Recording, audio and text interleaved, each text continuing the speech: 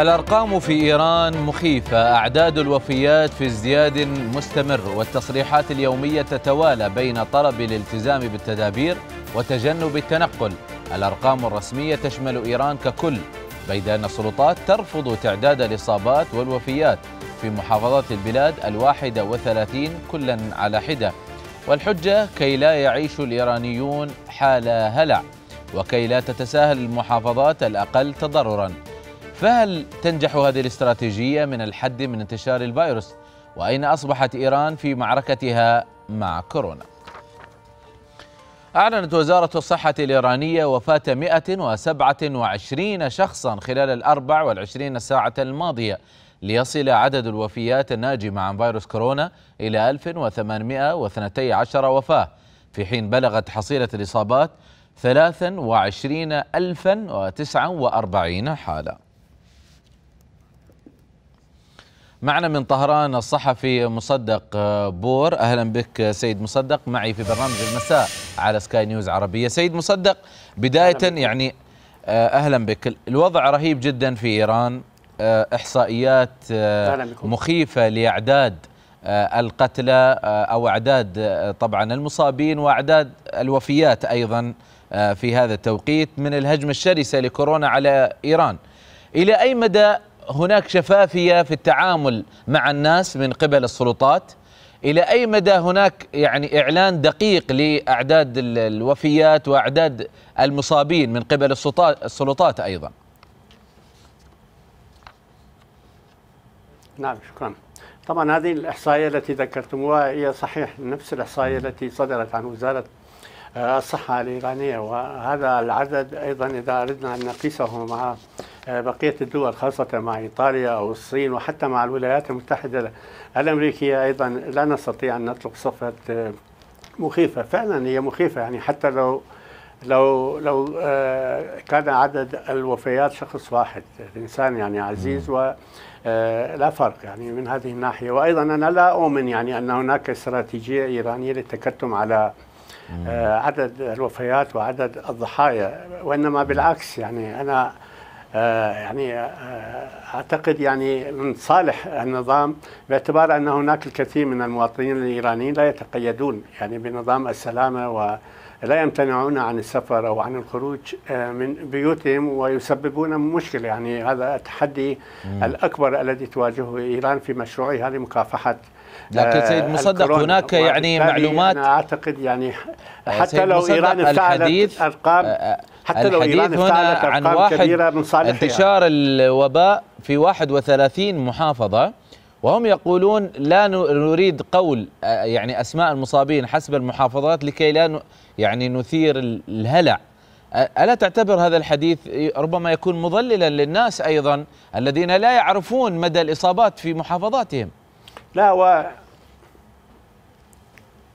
أنا أعتقد يعني إثارة الهلع هو لصالح الشعب الإيراني. يعني إثارة الهلع أنا ب... أنا لو كنت صاحب القرار ربما أعلن عن عن أضعاف يعني هذه الأرقام حتى لا يخرج الناس من دوره من دورهم. وبالتالي أنا من مصلحة النظام ومن مصلحة إيران أن أن تعلن يعني عن عدد هؤلاء الوفيات. أما انتشار واستشراء عدوى هذا المرض في 31 محافظة أيضا.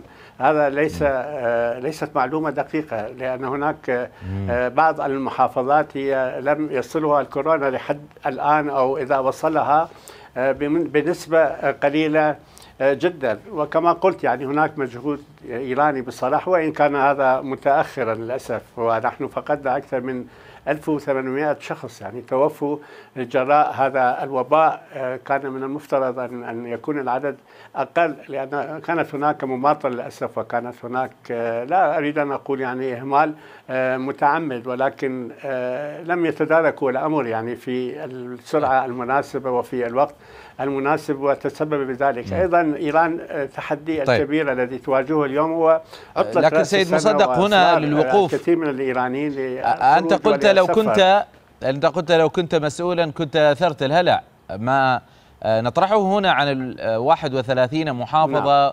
وعن عدم إثارة الهلع هو يأتي بحديث من المتحدث الرسمي باسم وزارة الصحة كابونيش جهابور وهذا يعني وهذا هو سبب السؤال اليوم عالميا نعم. عن موضوع في طهران أو عموم إيران.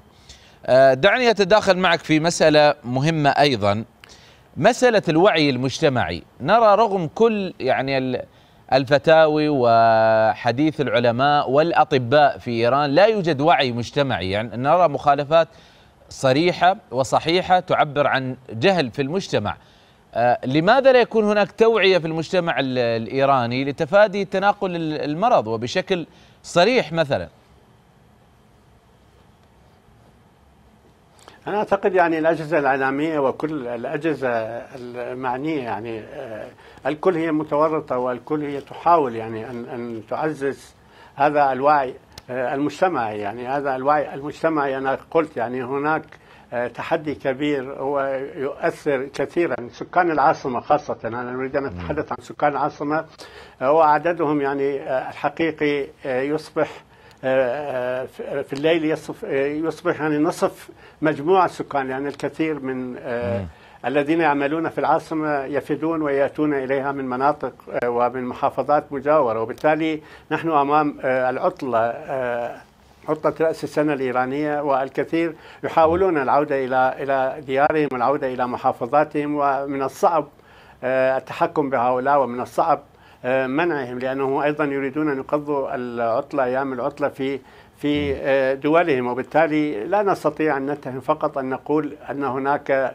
لا يوجد وعي مجتمعي. يعني هذه المشكلة هي وهذا الوباء هو وباء عالمي. أنتم يعني حتى في داخل الولايات المتحدة حتى في الدول المتحضرة حتى في كل آه، الدول حتى في الدول العربية. أنتم كنتم تحاورون الضيف السابق أيضا في بنفس هذا الموضوع ولكن أنا أعتقد يعني هذا هو صحيح سيد مصدق يحصل عندما تصبح آه قناعة حقيقية لدى هو هو مسألة الوعي نعم. هي مسألة الوعي لا تفرق بين الدول وهي موجودة يعني في كل مكان مشكلة الوعي من آه، فيروس كورونا.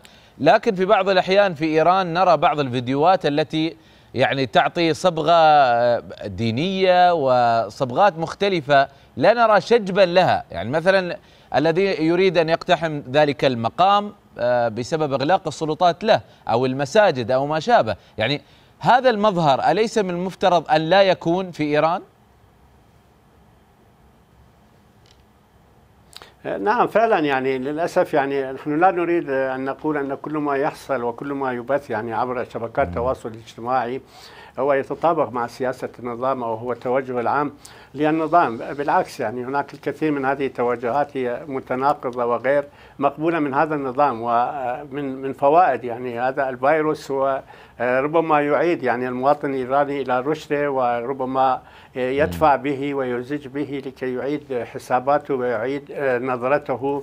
إلى بعض الأمور يعني بعض الأمور الخرافية خاصة. يعني موضوع عندما يغلقون المقامات المقدسة طبعا هذا هذا موضوع حضاري. يعني بالتأكيد هذا سوف يكون له نعم. دور كبير. أنا أعتقد يعني آه هذه المحنة وهذه المشكلة هي أيضا سوف تساهم في المستقبل. يعني في في تنمية الوعي المجتمعي في داخل إيران ولكن طيب. إذا أردنا أن نقارن بين آه الوعي المجتمعي الإيراني مع بقية الدول أعتقد أن الفارق كبير آه، جدا يعني وهناك مشكلة أخرى يعني مشكلة الاعتداد والاعتماد على النفس يعني للأسف يعني ربما نعم. هناك إفراط لدى المواطن طيب سيد مصدق آه، بمثل هذه الحالة وهو يعتقد أنه مصون آه. من هذا الخطر ولكن عندما يواجه الخطر وعندما يسمع نعم.